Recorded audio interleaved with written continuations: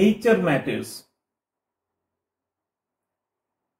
Kannur University, degree first year, second semester, English Common Course, readings on life and nature. 2A03 ENG The Fish, a poem by Elizabeth Bishop. Elizabeth Bishop is an American poet of 20th century.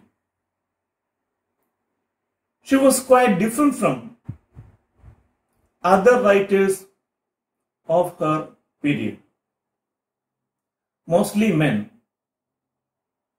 And she differs in her life and so in poetry. She had a very unpleasant childhood life. Later, she shifted herself to Brazil and lived with a lady architect there for almost 15 years. She had traveled extensively through Europe, also Africa, and went back to America. And had taught for some time in Harvard University.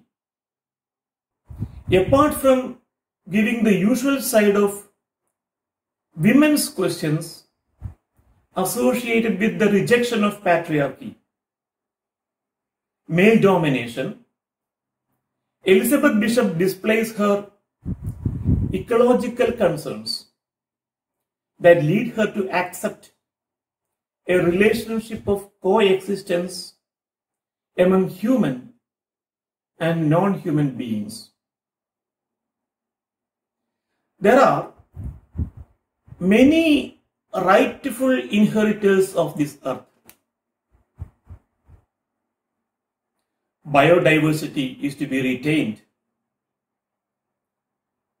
And the earth is not something that is for the consumption of human beings. Earth is not a real estate for man's profit. Nature in this poem by Bishop is not for assuming, establishing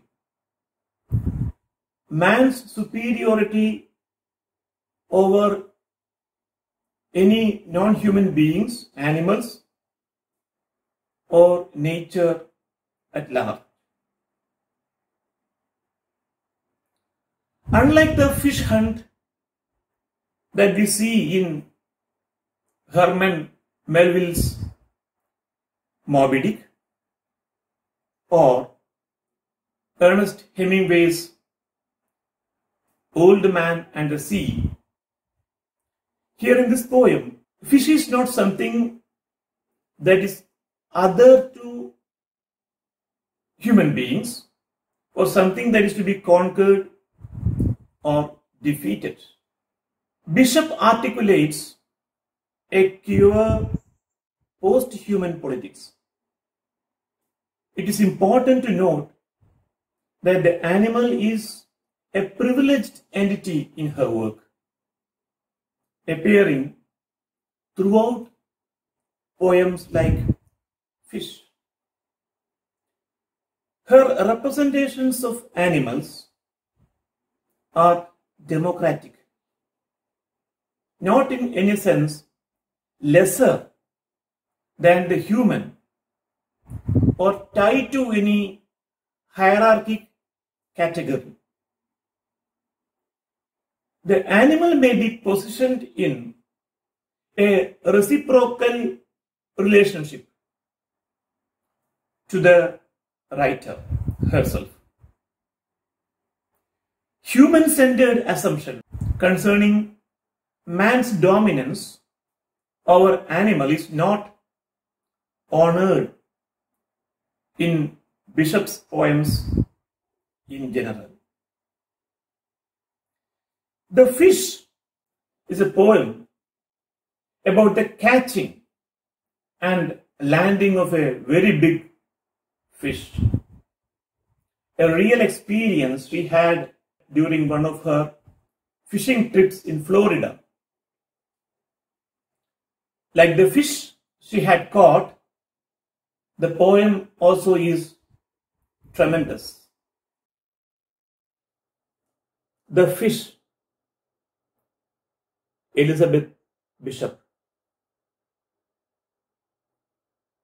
I caught a tremendous fish and held him beside the boat, half out of water, with my hook fast in a corner of his mouth. He didn't fight. He hadn't fought at all. He hung a grunting weight, battered and venerable and homely. Here and there, his brown skin hung in strips like ancient wallpaper, and its pattern of darker brown was like wallpaper. Shapes like full blown roses, stained and lost through age. He was speckled with barnacles, fine rosettes of lime, and infested with tiny white sea-lice. And underneath, two or three racks of green weed hung down, while his gills were breathing in the terrible oxygen, the frightening gills, fresh and crisp with blood that can cut so badly. I thought of the coarse white flesh packed in like feathers,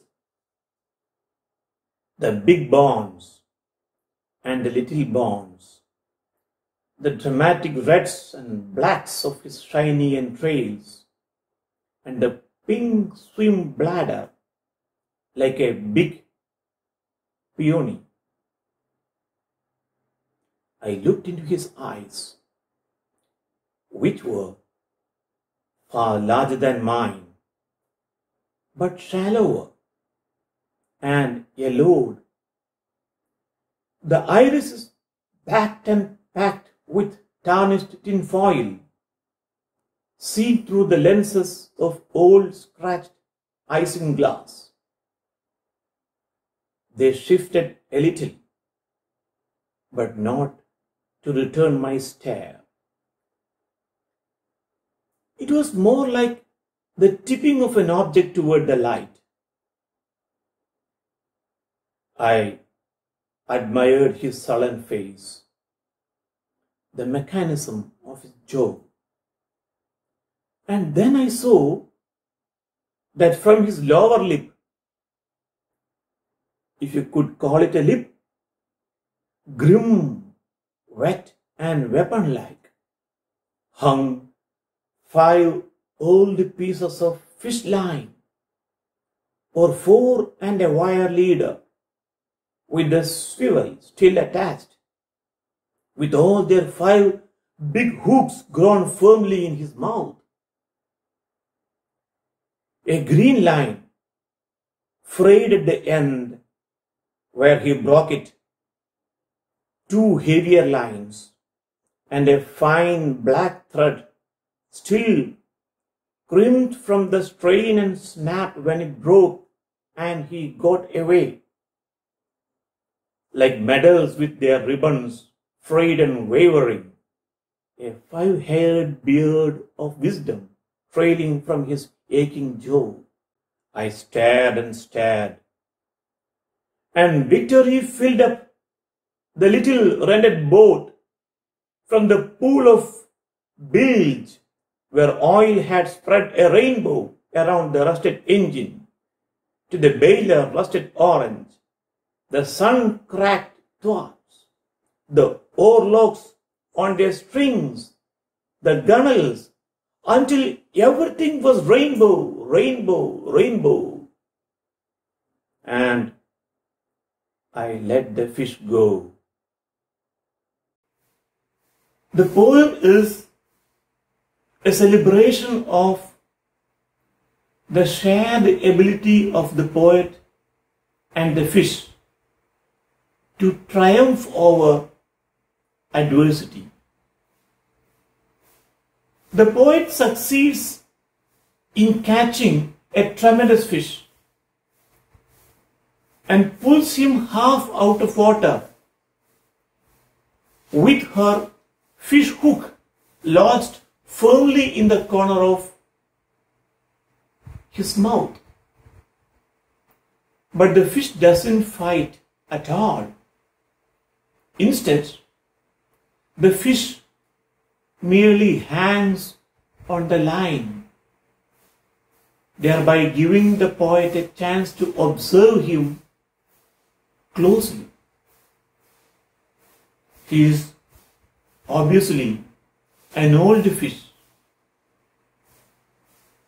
The poet is awed by his age and the evidence of his previous battles and realizes that he is not different from herself, from all of us. He too has struggled to survive in a world that can be incredibly hostile. And now he is tired, too tired to fight anymore. At the end, she is happy to be able to release such a survivor who has suffered so much hardship and fought strongly in the past. The poem Fish,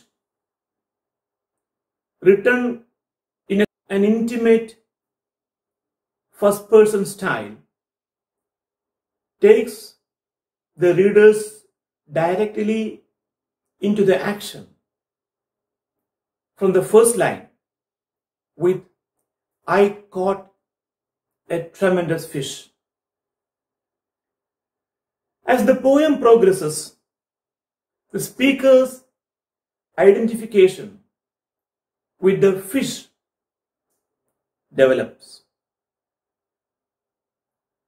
This poem shifts in a subtle way from the initial pride of the fisherwoman hooking a tremendous fish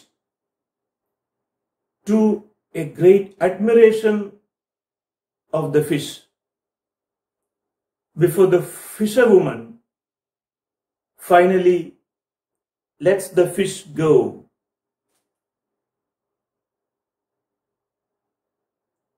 She has mastered the art of losing for the sake of love and care for fellow beings. Here, a fish.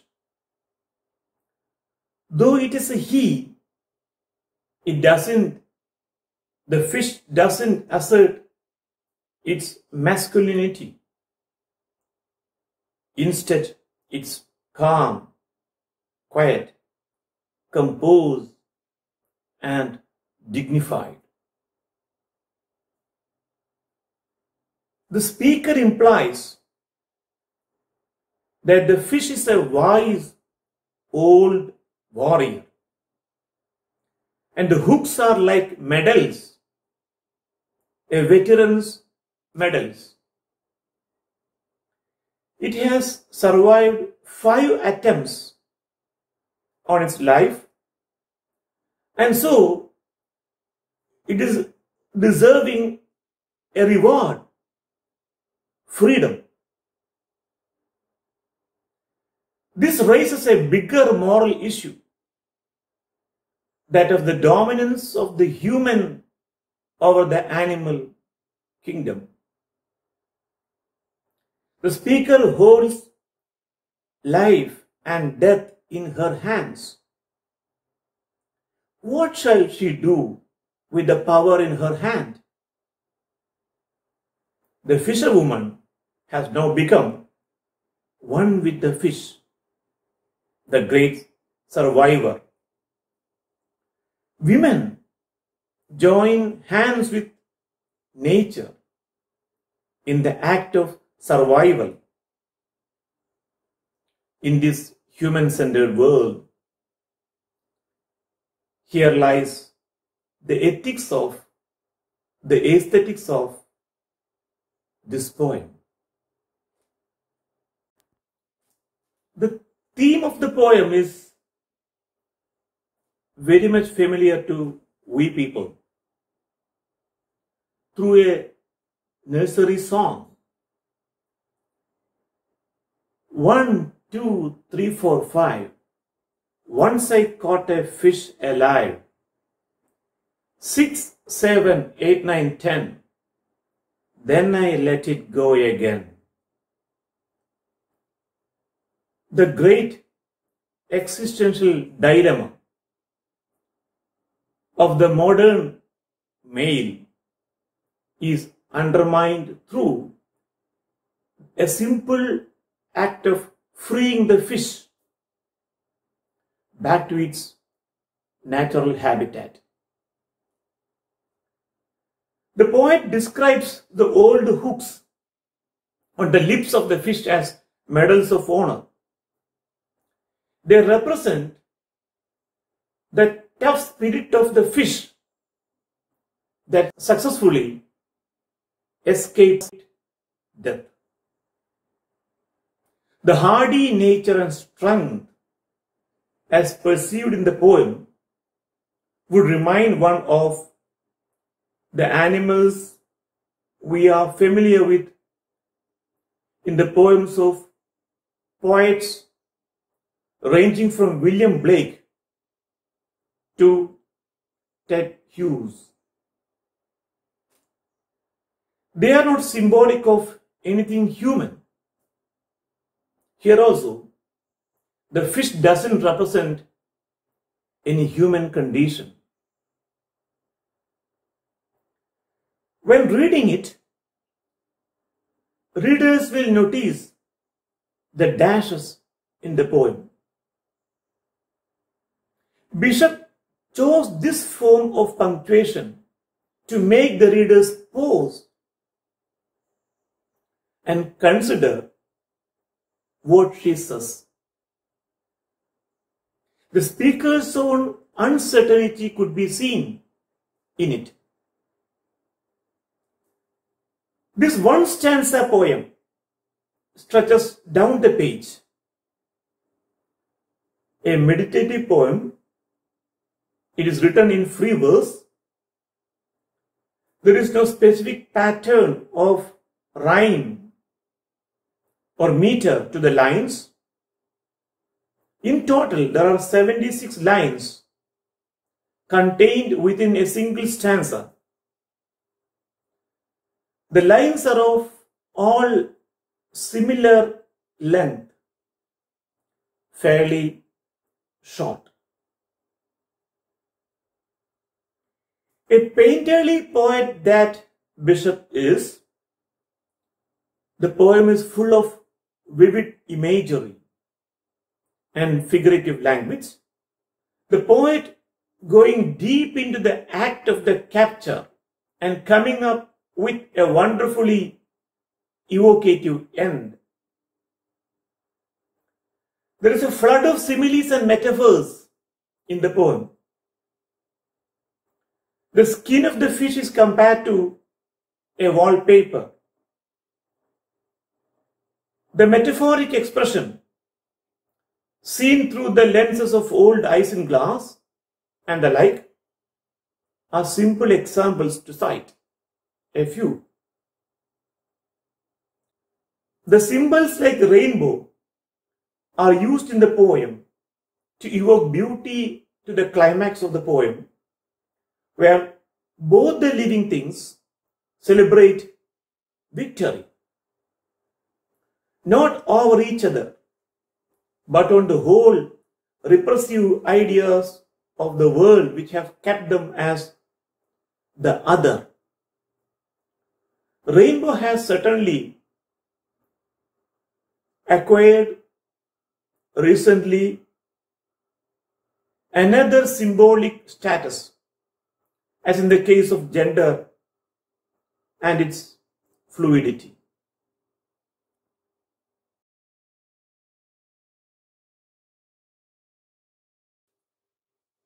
Comprehension questions. 1. How did the poet hold the fish she caught? The poet held the fish beside the boat, half out of water, with a hook fastened in a corner of his mouth.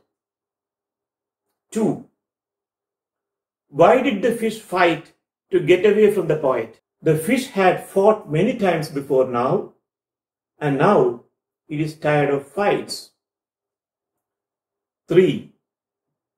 Describe how the fish hangs from the poet's rod. The fish hangs from the fishing rod with a grunting weight. It was battered, but looked venerable. 4.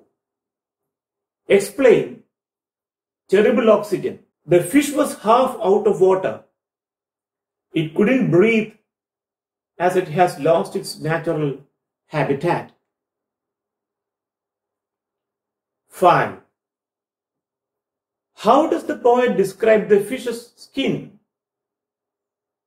The brown skin hung in strips is compared to that of a worn out wallpaper having shapes like full blown roses. 6. Why does the poet look into the eyes of the fish? The poet looked into his eyes which were larger than her. She looked at it out of compassion. 7. Does the poet admire the fish? Why? The poet admires the fish because it is respectable and wise. It has suffered a lot, but survived. It hasn't become a victim to man's torture. 8. Name the things that hang from the lips of the fish. Five old pieces of fish line and a wire leader with five big hooks are the things that hung from the lips of the fish. 9. What does the poet see in the eyes of the fish? The eyes of the fish are large, shallow, yellowed, and the irises are backed and packed with the tarnished tinfoil, seen through the lenses of old scratched isinglass. 10. How does the poet describe the entrails of the fish? The coarse white flesh was packed in like feathers the bones and the shiny entrails of red and black, and the pink swim bladder appeared like a big flower. 11. Explain. Victory filled up the little rendered boat. The poet could identify herself with the fish as a survivor, she becomes aware of the need to live together to resist the onslaught of men. 12. Explain the lines rainbow, rainbow, rainbow. This line embodies the final discovery of human connection with all flora and fauna of this world. It's a moment of mutual love. Here is a translation of the poem. മീൻ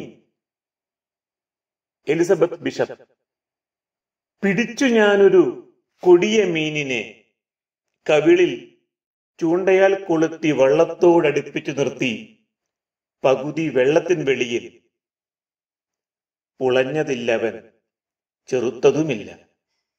കനത്തു തൂങ്ങിയോൻ ഉടൽ തകർന്ന് മാന്യമായി സരളമായി. അവിടെവിടെയായി തവിട്ട് ചർമ്മം ചീളടർന്നു തൂങ്ങുന്നു. ചിരപുരാതന ചുമർചിത്രം പോലെ വിടർന്ന പൂ കാലക്രമേണ വാടും പോൽ അവന് പുള്ളികൾ കടൽ ചെള്ളാൽ നല്ല വെളുത്ത ചുണ്ണാമ്പാൽ. അടിയിൽ തൂങ്ങുന്നു. കളകൾ രണ്ടു മൂന്നിഴകൾ പച്ചകൾ. മുറിവേൽപ്പിക്കുവാൻ കഴിയും ചോര ചെം ചെകിളകൾ. ചുറുചുറുക്കോടെ ഘോരം വലിക്കുന്നു ശ്വാസം. ഇടയ്ക്ക് ഞാൻ ഓർത്തു പരുക്കനാമതിൻ വെളുത്ത തൂവൽ പോലടുക്കിയ മാംസം കടും ചുവപ്പിന്റെ കുടലുകൾ. എല്ലിൻ പല വലുപ്പങ്ങൾ. തുടുത്ത പൂവ് പോൽ തുഴകൾ പാടലം. അവന്റെ കൺകളോ വിശാലം എന്നേക്കാൾ. അത് മഞ്ഞ ചാഴം കുറഞ്ഞതാം പക്ഷേ. പഴകിപ്പോയ അഭ്രമിളകിയ ചില്ലിനിടയിലൂടെ കാൺമത് തുരുമ്പിച്ച തകിടിൽ ചുട്ടെടുത്തടുക്കിയ കൃഷ്ണമണികൾ ഞാൻ നോക്കി. അവ അനങ്ങിയത് എനിക്ക് നേർക്കല്ല. അവ വെളിച്ചത്തിൽ മലർന്നു വീണ പോൽ. അവനെ ആദരിപ്പു ഞാൻ ഉദാസീന മുഖത്തെ. താടിയെല്ല് അതിൻ പ്രവർത്തനം. അവന്റെ കീഴ്ചുണ്ടിൽ അത് ചുണ്ടാണെങ്കിൽ കിടന്നു തൂങ്ങുന്നു. അണച്ചു വെച്ചൊരായുധം കണക്കെ. ഉഗ്രം പഴയ ഒരഞ്ച്. മീൻ പിടിക്കും ചൂണ്ടകൾ. അതല്ലവൻ വായിൽ വളർന്നു നിൽപ്പൂ. നാലധികം ഒന്നഞ്ച് വളഞ്ഞ സൂചികൾ. അവൻ കുതറിയ സമയം പൊട്ടിയ ഇരുൾത്തുടലുകൾ. കനത്തവ പച്ച കിടപ്പുണ്ട് ഒട്ടേറെ. വിവേകത്തിൻ അഞ്ചു നരച്ച രോമങ്ങൾ പതക്കമായി തൂങ്ങി കളച്ച താടിയിൽ. മിഴിച്ചു നോക്കവേ നിറഞ്ഞു വാടകയ്ക്കെടുത്ത വള്ളത്തിൽ വിജയം. മാരിവില്ല് അഴുക്കുവെള്ളത്തിൽ ഒലിച്ചൊരിറ്റെണ്ണ വരഞ്ഞതു മുതൽ തുരുമ്പിച്ച യന്ത്രം തുരുമ്പ് കോരിക തുഴ വിജാഗിരി അതിൻ ചരടിന്മേൽ ഇരിപ്പിടം സൂര്യൻ കരിച്ചതിൽ തുഞ്ചം സമസ്തവും നിറമഴവില്ലായി. പിന്നെ അവനെ വിട്ടു ഞാൻ.